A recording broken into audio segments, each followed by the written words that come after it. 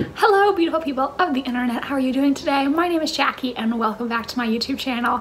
So I cannot even believe that the final season of Game of Thrones is premiering this Sunday. It is less than a week away. I am so unbelievably excited. After the new season comes out, my update schedule is going to change a little bit because I want to be able to recap each episode and share my theories after each episode. So I'm hoping to get new videos out on Mondays right after the episodes air. This means that I'm going to have to change when I film because usually I film on the weekends and then post a couple days later. But I think I can do it. So this is the last Wednesday video that we're going to have for a while and now you're going to have to look out for my videos on Mondays after the episodes.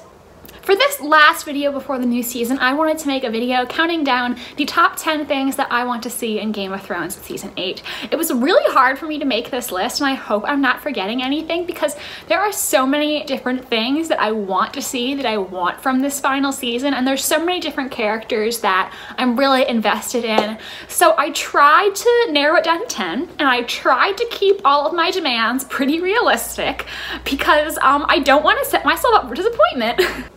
So number 10 on my list of things that I want to see in season 8 is reunions, reunions, reunions. At the beginning of the season, you're going to have so many characters congregating at Winterfell, characters who had never met before, and so many characters who haven't seen each other in years. I'm talking, you know, Jaime and Bran, Sansa and Tyrion, Arya and Gendry, Arya and the Hound, Jon and Bran, Jon and Arya, so many amazing reunions that we have to look forward to.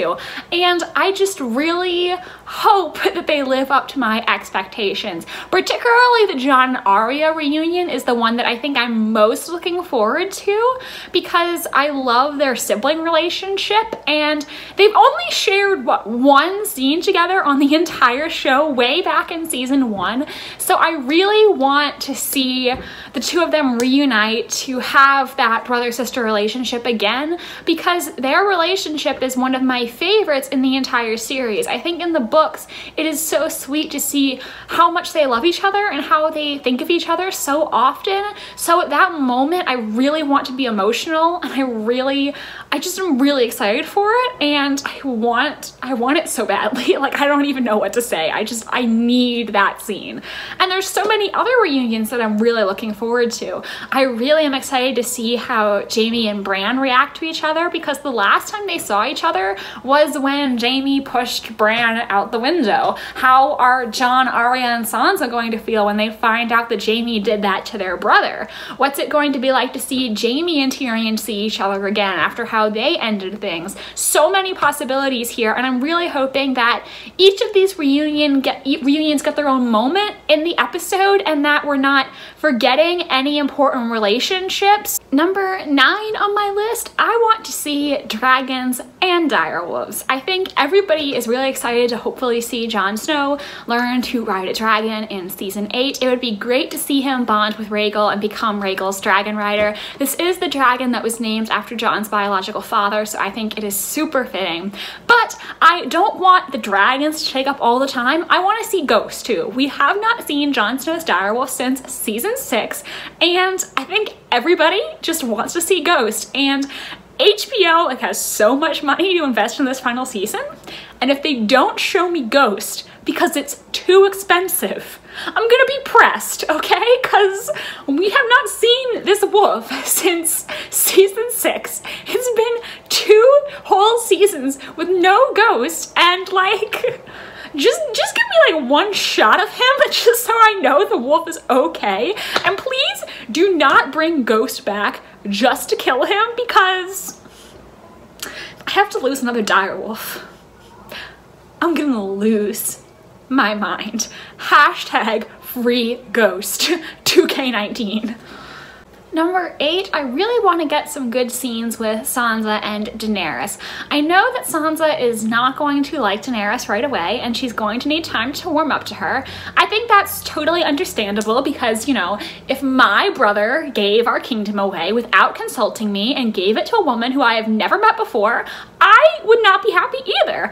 However, contrary to how the fandom continually pits Sansa and Daenerys apart, I personally think the two of them actually have a lot in common. I think that the things that they've been through over the course of the show are very similar. They are both strong women who have really undergone an amazing character progression. They are both survivors of sexual assault. They are both amazingly strong women.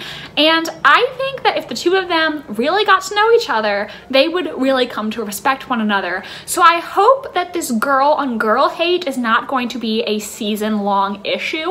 I'm hoping that it will just be a problem at the beginning of the season and then we will see Sansa and Daenerys build a mutual respect or even a friendship with each other because I would really like to see these two awesome women get along. And you know, it's the Great War, so even though Jon bending the knee to Daenerys may not be ideal from a northern standpoint, I'm hoping they can set that aside eventually in order to focus on defeating the Night King because they need Daenerys' help. They need her armies and they need her dragons if they want to do that. So I hope that while initially the Northerners will not like Daenerys, that Sansa will quickly come to realize that Daenerys is not that bad and that everyone will be able to put that behind them and move forward. At number seven, I really want to see Clegane Bowl. Now, this fight between Sandor the Hound Clegane and his brother Gregor the Mountain Clegane has been very hyped. In season seven, it was foreshadowed in their confrontation in the Dragon Pit, where the Hound tells the Mountain, you know who's coming for you, brother. You've always known. I think this would be such a satisfying moment because this would really be a great character moment for the Hound. We have really seen an amazing character journey journey from him. He was someone that we all hated at the beginning and now he is a fan favorite character. I would also love to see the Hound finally overcome his fear of fire in this fight in some way because even though the Hound is a very ruthless and tough warrior, fire is one thing that he has feared ever since his brother stuck his face in the flames when he was a child. I think a really great moment of character development would be for him to finally confront this fear in order order to get his long-awaited revenge on the brother who maimed him as a boy. At number six, I really want to see a Jon and Daenerys baby in season eight. It was heavily foreshadowed that Daenerys is probably going to get pregnant from her conversations with Tyrion about succession to Jorah telling Jon that Longclaw will serve him well and his children after him to Daenerys telling Jon that she can't have children and him saying, is Mirri Maz Duur really a reliable source of information? So I think that we are really meant to question if Daenerys is really unable to have children or not. And I think in season 8 she is going to find out that she is pregnant with Jon's child. I think this would be a really great thing for both Jon and Daenerys because Daenerys lost her first child and that was a very difficult thing for her to go through. And in the books you can really see how deeply that pains her that she is never going to be a mother to an infant, a human baby. As for Jon, he really told himself that he could never have children. He didn't allow himself to want that because he grew up being a bastard. However, once he finds out that he's really not, he's really the rightful heir to the throne, he is a true-born Targaryen, now he does have a name that he could pass on to his future child, and I think that becoming parents would be a great thing for both Jon and Daenerys as characters. At number five on this list, I want to see some Jaime and Brienne sexual tension. Now, I have a couple different ships on Game of Thrones. However, I think Jaime and Brienne is the one that I love the most. Braime will always have my heart, and they have been building up this great dynamic between them through the seasons. You've really seen how knowing each other has changed each of them, and the chemistry that they have in their scenes is absolutely amazing. I don't understand how how anyone can watch Game of Thrones and not want these two to be together. As much as I want a happy ending for Jaime and Brienne, I would love for them to get married and to just have beautiful golden haired warrior children, but I know it's not a realistic desire. So I'm just hoping that we get a really good romantic moment between the two of them before I think Jaime is going to inevitably killed off. I don't want Jaime to get killed off, but I think he's going to, and I'm just trying to be realistic in my hopes here. So I really want to see some romantic buildup between the two of them in this final season. I want to see a scene where they acknowledge their feelings for each other, when they confess their love, and I am really hoping that if Jaime does indeed have to die, that he will get to die in Brienne's arms. This would be an amazing payoff for the moment in season 5 where Jaime tells Bronn that he always wanted to die in the arms of the woman he loves. At the time he meant Cersei, but I think it would be beautiful to find out as he lays dying that the woman he truly loves with all his heart is Brienne, and it always will be. At number four, I want to see a satisfying ending for Tyrion Lannister. Now, there have been spoilers recently about how Tyrion's story is going to end. I will not say anything for those of you who do not want any potential spoilers. However, my hopes for Tyrion's ending are that it's just going to be something that rings true to his character. However his storyline ends, I want it to be something that feels right, that actually feels like something that he would do. I was very disappointed with Tyrion's role in season 7 because he really took a backseat in the storyline, existing only as Daenerys' advisor, and a lot of the ideas that he came up with ended up being major failures, which is really disappointing because Tyrion has really been built up as one of the smartest characters on the entire show. He thrives in politics, so I really want to get back to his roots and to see Tyrion make smarter decisions in season 8, and I want his ending, whatever it is, whether he lives, whether he dies, to feel like a satisfying ending to his character arc. At number three, I want to see fulfillment for Arya. Arya Stark is one of my favorite characters in Game of Thrones, and she is my absolute favorite character, hands down, in the books. Arya has been through so much over the course of the series. She has struggled and really felt like there wasn't a place where she belongs. I want her ending to really find her fulfillment. I want her to finally feel like there's a place where she belongs, where she's accepted. I don't really care what this ending is. I mean, I don't want her to die, obviously. That's why I'm saying I want fulfillment for her. I don't think dying for her is fulfillment. So I want her to live and I want her to do something for her, really. Like, I don't want her just to be staying at Winterfell where Sansa rules as lady and she's Sansa's executioner or things like that. I want her to finally feel valued and to finally do something for herself. You know, to finally have the life that she's always wanted. I would love to see her finally, you know, be given some kind of political role because of her own merits. Like, you know, she told Ned, like, if she could ever become a king's counselor or build castles or be the High Septon, and he said all she would be able to do is to marry a High Lord and have his children, which is not what she wanted. So I would really like to maybe see her as a counselor to Jon if Jon becomes king. Perhaps that she could have a romantic relationship with Gendry. I definitely think there is foreshadowing in the books. You can really see in the books that she does have a crush on him, which he likely reciprocates. And I have heard rumblings that apparently like there's some kind of like like some activity to make us think that Arya and Gendry might be getting together. What I mean by that is that HBO Spain on Valentine's Day included like a Valentine of Arya and Gendry. Apparently another foreign HBO account like posted an entire video about Arya and Gendry as part of their countdown to the final season. Like all this stuff that is making me wonder if they're actually going to happen romantically because honestly I really didn't know if I trusted D&D to actually like do their relationship justice. So if the two of them actually acknowledge romantic feelings for each other, that would be a pleasant surprise. I don't know, maybe Arya could go off and sort of form her own pack. Maybe she'll go and become an explorer and maybe like Gendry could go with her or somebody else could go with her.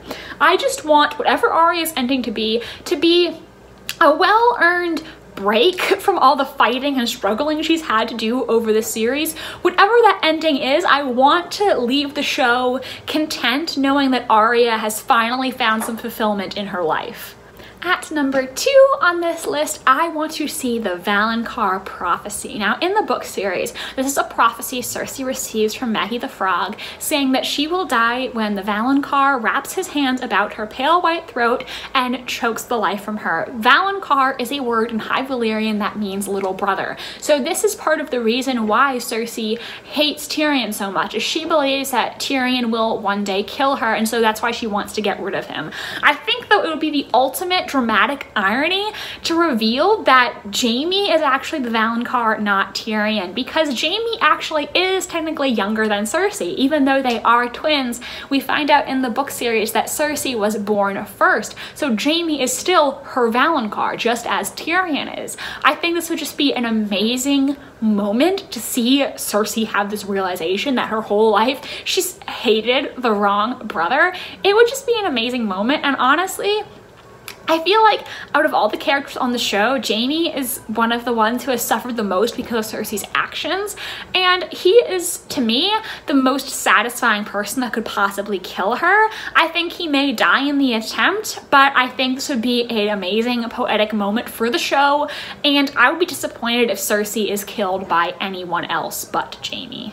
So finally, the number one thing that I most want to see in the final season of Game of Thrones is a dream of spring. Now, we all know that Game of Thrones and A Song of Ice and Fire is supposed to have a bittersweet ending. However, the word bittersweet does end with the word sweet. I am so tired of everyone using that Ramsay Bolton quote, if you think this has a happy ending, you haven't been paying attention. I know that. I know it's not going to be all sunshine and rainbows. I know a lot of characters are going to die, and the ones who do live are probably going to have to deal with a lot of survivor's guilt and PTSD. However, I want the final scene of the show to be something positive. I want to leave the show with some semblance of hope. I want to know that the system in Westeros is going to change, that things are going to get better, that our characters have not been through this long, arduous journey journey for naught. I really like the Hunger Games ending, so I wouldn't mind if it was something similar to that, where we do see this hope for the future, but also that, you know,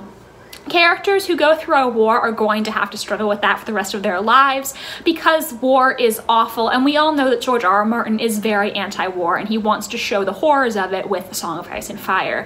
However, I do want our characters who survived the show to have some happiness. I want to know that after everything they've been through, it was worth it because now the world is going to be a better place. I want the ultimate message of Game of Thrones not to be that life is bleak, but that there is always hope. So everyone, those are the 10 things that I most want to see in Game of Thrones Season 8. I hope I didn't forget anything. If there is something that you, I didn't mention that you guys think is important, feel free to leave it in the comments. Let me know what are the things that you most want to see in this final season. I am so unbelievably excited for Season 8 to finally come out. I will hopefully have a recap and theory video about Episode 1 out on April 15th, the day after the episode airs. I'm going to try my best to make it work work for you guys. Thank you so much for watching this video. Please give it a like if you enjoyed and subscribe to my channel if you want to see more from me. I also am going to link my second channel down below if you want to if you want to subscribe to that as well. Thank you so much and I hope you have a wonderful rest of your day. Bye and I hope to see you in the next video.